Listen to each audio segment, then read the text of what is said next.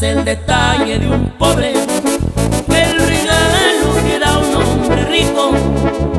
El pobre con mucho esfuerzo lo hace y el rico tal vez sin sacrificio.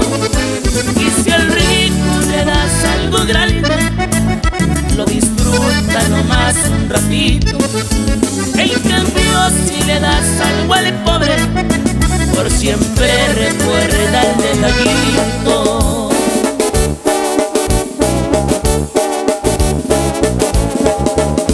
De niño recuerdo que mi padre siempre puso comida en la mesa.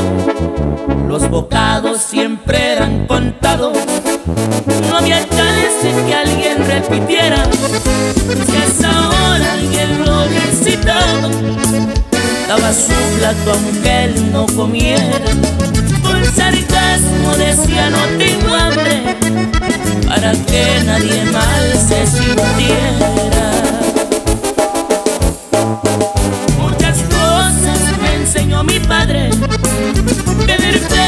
Valores y principios. Me dijo que al pobre hay que ayudarlo y jamás humillársele a un rico.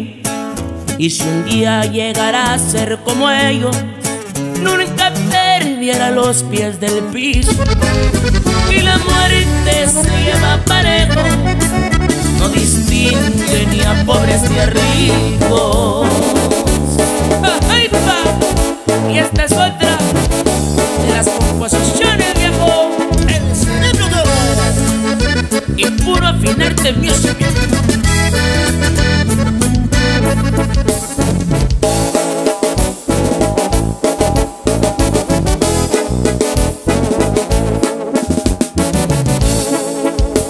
Otro consejo que dio mi padre, que cuando mi vida realizara, la mujer, el caballo y machete, nunca nadie tenía que confiar en porque la mujer si se descuida y hablan bonito y hace confianza.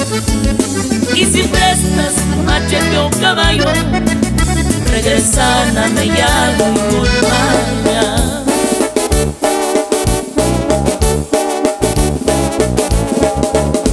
Las ciudades rompen las costumbres.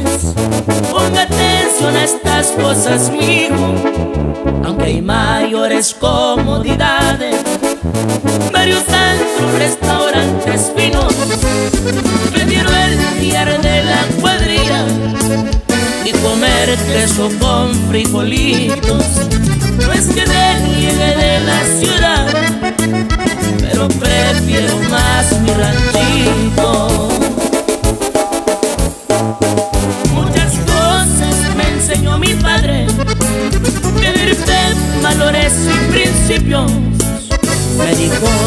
Pobre hay que ayudarlo y jamás humillársele a un rico.